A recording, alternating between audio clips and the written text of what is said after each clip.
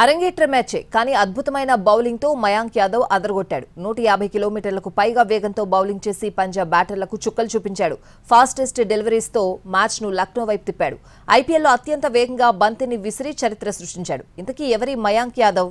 అరంగేట్ర మ్యాచే కానీ అద్భుతమైన బౌలింగ్తో మయాంక్ యాదవ్ అదరగొట్టాడు. నూట యాభై కిలోమీటర్లకు పైగా వేగంతో బౌలింగ్ చేసి పంజాబ్ బ్యాటర్లకు చుక్కలు చూపించాడు. ఫాస్టెస్ట్ డెలివరీస్తో మ్యాచ్ను లక్నో వైపు తిప్పాడు. ఐపీఎల్లో అత్యంత వేగంగా బంతిని విసిరి చరిత్ర సృష్టించాడు. ఇంతకీ ఎవరి మయాంక్ యాదవ్? కళ్ళు చెదిరే బుల్లెట్ బంతులు. నూట యాభై కిలోమీటర్లకు పైగా వేగంతో బౌలింగ్. ఐపీఎల్ చరిత్రలో ఫాస్టెస్ట్ డెలివరీ. తొలి బంతిని ఎదుర్కోలేకపోయిన శిఖర్ ధావన్. విజయం వైపు దూసుకెళ్తున్న మ్యాచ్ని మలుపు తిప్పిన మయాంక్. ఎవరి మయాంక్ యాదవ్? ఏమా వేగం? ఇరవై ఒకేళ్ళ యువ పేసర్ మయాంక్ యాదవ్ అరంగేట్రం మ్యాచ్లోని అదరగొట్టాడు. నిలకడగా గంటకు నూట యాభై కిలోమీటర్ల వేగంతో బంతులు విసిరి ఔరా అనిపించాడు.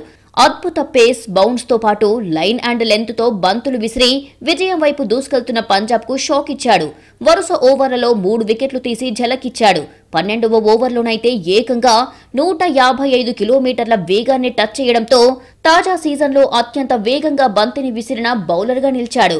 ఎనిమిది ఓవర్ల తర్వాత బౌలింగ్ అటాక్లోకి వచ్చిన మయాంక్ యాదవ్ బెయిర్ స్టోను అవుట్ చేసి పంజాబ్ను తిరిగి గేమ్లోకి తీసుకువచ్చాడు.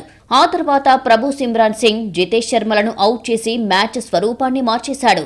ఓవరాల్గా మయాంక్ నాలుగు ఓవర్ల కోటాలో ఇరవై ఏడు పరుగులిచ్చి మూడు వికెట్లు పడగొట్టాడు.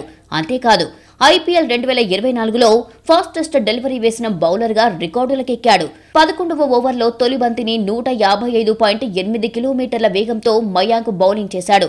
ఇంతకు ముందు ఈ record Rajasthan pacer Nandre Burger పేరిట ఉంది. ఇతను నూట యాభై మూడు కిలోమీటర్ల వేగంతో బౌలింగ్ చేశాడు. ఇప్పుడు ఈ రికార్డుని మయాంక్ మడత పెట్టేశాడు. మొత్తంగా ఐపీఎల్లో ఫాస్టెస్ట్ డెలివరీ వేసిన ఐదవ బౌలర్గా మయాంక్ యాదవ్ నిలిచాడు.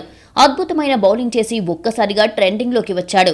ఈ యువ పేసర్ టాక్ ఆఫ్ ది క్రికెట్గా మారాడు. ఇతని బ్యాక్గ్రౌండ్ ఏంటి అని నెటిజన్లు గూగుల్లో సెర్చ్ చేస్తున్నారు.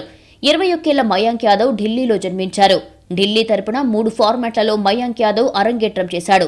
తొలుత రంజీ ట్రోఫీ రెండు వేల ఇరవై రెండు సీజన్లో భాగంగా మహారాష్ట్రతో జరిగిన మ్యాచ్లో ఫస్ట్ క్లాస్ క్రికెట్లో అడుగుపెట్టాడు. ఆ తర్వాత లిస్ట్ ఏ టీ ట్వంటీ క్రికెట్లో అరంగేట్రం చేశాడు. గతేడాది జరిగిన దేవధర్ ట్రోఫీలో నార్త్ జోన్కు ప్రాతినిధ్యం వహించిన మయాంక్ అద్భుతమైన బౌలింగ్ ప్రదర్శన కనబరిచాడు. కేవలం ఐదు మ్యాచ్ల్లోనే పన్నెండు వికెట్లు తీసి జాయింట్ వికెట్ టేకర్గా నిలిచాడు. ఇప్పటి వరకు మూడు ఫార్మాట్లలో ఇరవై ఏడు మ్యాచ్లు ఆడి నలభై ఆరు వికెట్లు పడగొట్టాడు. రెండు వేల ఇరవై రెండులో జరిగిన ఐపీఎల్ మెగా వేలంలో ఇరవై లక్షల కనీస ధరకు మయాంక్ను లక్నో కొనుగోలు చేసింది. కానీ గాయం కారణంగా ఐపీఎల్ రెండు వేల ఇరవై మూడు సీజన్కు దూరమయ్యాడు. అతని స్థానంలో అర్పిత్ గులేరియాను తీసుకుంది. అయితే ఐపీఎల్ రెండు వేల ఇరవై నాలుగు మినీ వేలంలో అతన్ని లక్నో సొంతం చేసుకుంది. ఈ క్రమంలో అరంగేట్ర మ్యాచ్లోనే సత్తా చాటి ట్రెండింగ్లోకి వచ్చాడు. ఇదే రీతిన బౌలింగ్ చేయగలిగితే అతి త్వరలోనే మయాంక్ భారత జట్టులోనూ ఆడే అవకాశం ఉంది